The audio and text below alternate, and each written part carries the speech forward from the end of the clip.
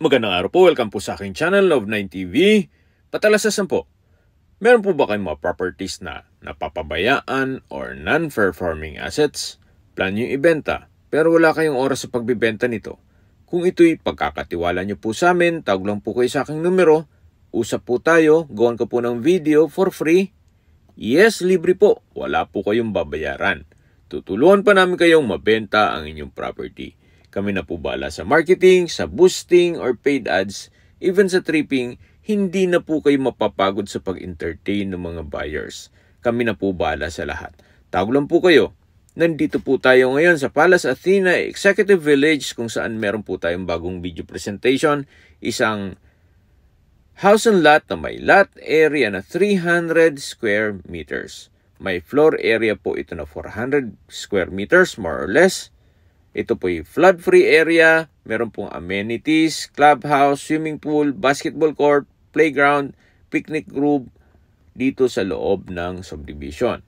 At tungkol naman po sa security, 24 hours po ang roofing guards dito. Kaya safe na safe po kayo. Samahan niyo po ako, pasok po tayo.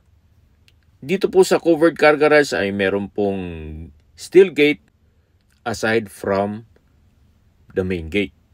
Kakasya po ang dalawang SUV dito sa loob at sa dulo po nito ay meron pong maids and driver's quarter. Ito naman po yung main door. Samahan niyo po ako. Pasok po tayo.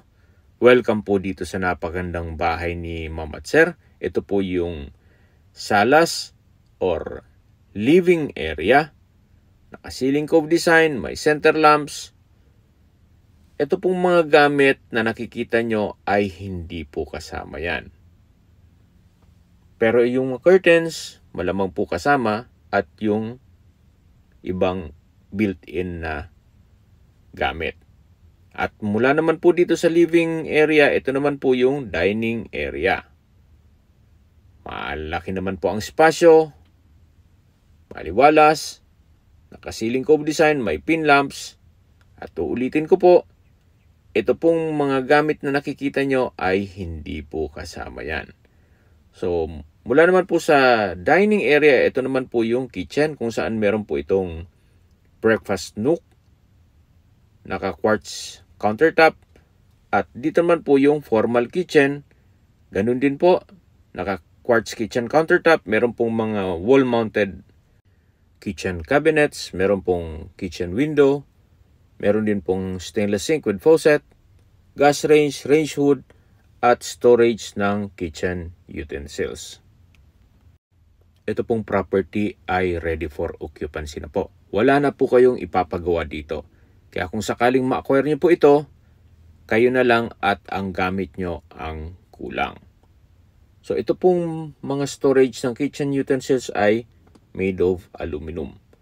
Then ito naman po yung common toilet and bath. Meron po itong bathroom sink, vanity mirror, water closet, naka-tile bathroom wall, maayos naman po lahat, at meron po itong shower enclosure. Naka-tile bathroom wall na rin po, at meron din pong hot and cold shower. At meron pong bathroom window. Labas po tayo para check natin ibang parte ng bahay. So, mula po dito sa formal kitchen, bali po, dalawa po ang kwarto dito sa baba. Ito po yung isa. At sa ngayon po, hindi natin yan mapasok. Gawa ng may mga personal na gamit si owner. Pero malaki naman po ang espasyo dyan. At yung isa naman po ay dito sa kabilang side. Hindi rin po natin yan mapasok gawa ng may mga gamit pa po sila dyan. Actually, ito pong bahay ay bihira nilang tirhan gawa ng nasa Amerika po sila. Kaya kung sakaling ang interested buyer ay nasa Amerika, mas mapapabilis po ang transaksyon ninyo. At ito naman po yung music room or entertainment room. Nakasiling cove design, Malaki naman ang espasyo, naka-tile flooring, at katabi lang po nito ang dining area. Mula naman po dito sa dining, ito naman po yung living area. Naka-tile flooring, napakalaki ng espasyo, at maliwalas.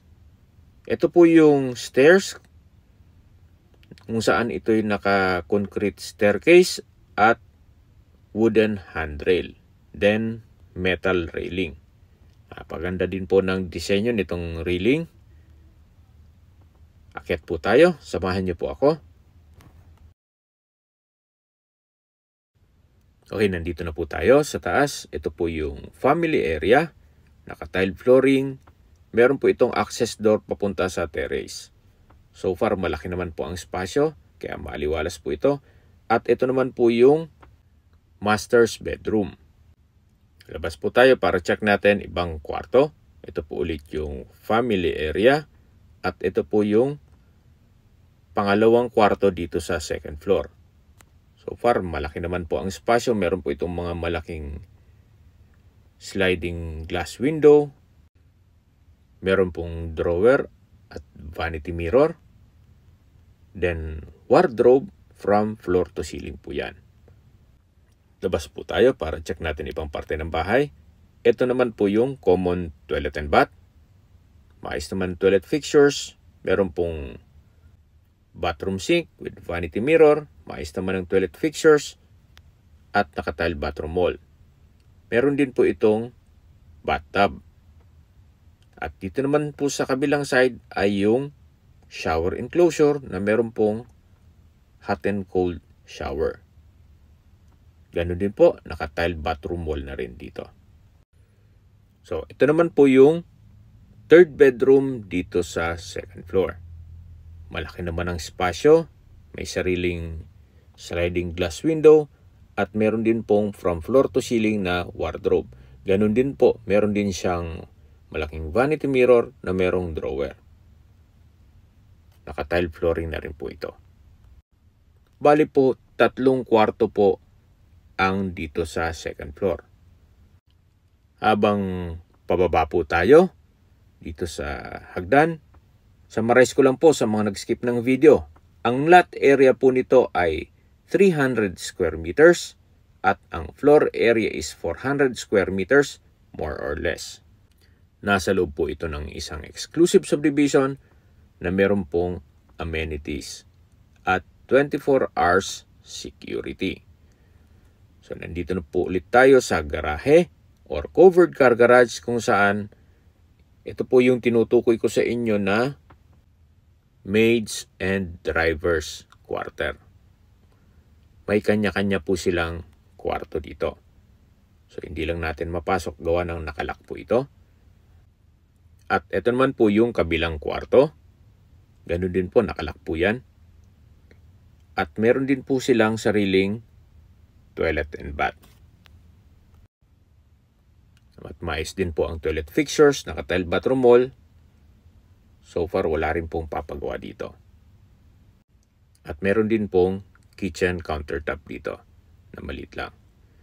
At ito naman po yung 1 meter setback na ginawang service area or laundry area. Naka-tiled countertop, may stainless sink, at meron pong aluminum na cabinet. Hanggang dito po yan sa dulo, covered po ito at naka-tile flooring na rin. Then sa dulo po meron pong steel gate at security grill dito sa bubong. Okay, sa distance, location at travel time portion na po tayo. Ito pong subdivision ay along Aguinaldo Highway at napakalapit lang po nito sa Shopwise at Pure Gold at iba pang business establishments. Kaya ito po ay accessible ng public transportation. Mula naman po sa SNR, ang distance is 2.5 kilometers at ang travel time is 5 minutes.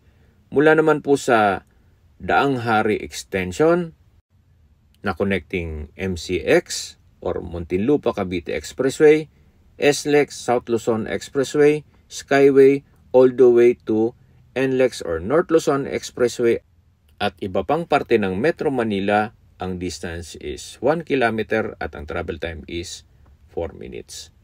At mula naman po sa South Imos Specialist Hospital, ang distance is 2 kilometers at ang travel time is 8 minutes.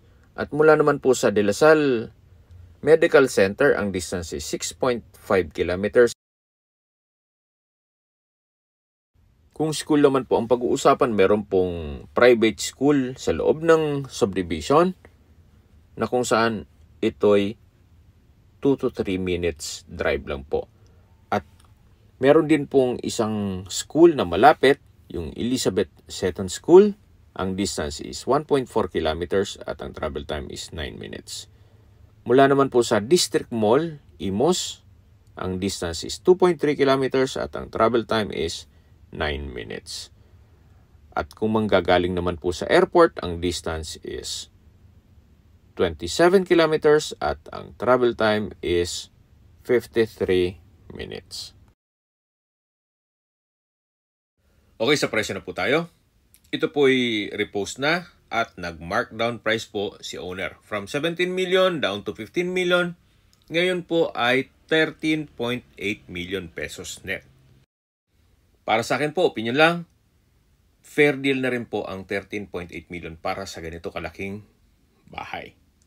Sa mahal po ng construction cost ngayon at materyales, mukhang hindi po kayo makapagpatayo ng ganito kalaking bahay. At kung bibili pa kayo ng lote. Yan naman po yung opinion ko lang naman. Depende pa rin yan sa inyo kung anong assessment nyo dito sa property. Ito po yung nasa loob ng isang exclusive subdivision at tunghayan nyo po itong napakaganda at napakalaking house and lot na kung saan ito po ay 13.8 million lang naman. Net na po. Ibig sabihin, si buyer na po ang sasagot sa lahat ng taxes at expenses with regards to documentation. Kung may mga katanungan po kayo, tawag lang po kayo sa aking numero. At sa mga kababayan naman natin nasa ibang bansa, meron po akong Telegram, may iPhone user naman, may iMessage, meron din pong Imo, Skype, Viber at WhatsApp. Same number lang po, 0917-316-3399. Sa mga nagtatanong naman po ng aming Facebook, meron po ang Facebook page na Nov9 TV at Facebook Reels Video. Meron din pong TikTok at Instagram.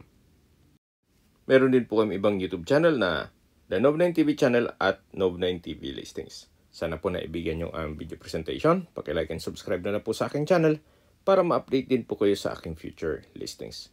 Kung sakali po hanap niyo yung mas malaking sukat o lupa, meron din po kami ibang listings na pwede niyong pagpilian. Huwag po kayong mag-atubiling tumawag sa amin, then let us know your budget para malaman namin kung anong property pwede namin alok sa inyo. Sa lahat pong viewers, subscriber at nagtiwala po sa amin, salamat po sa suporta. Ingat po kayo lagi at atong pamilya.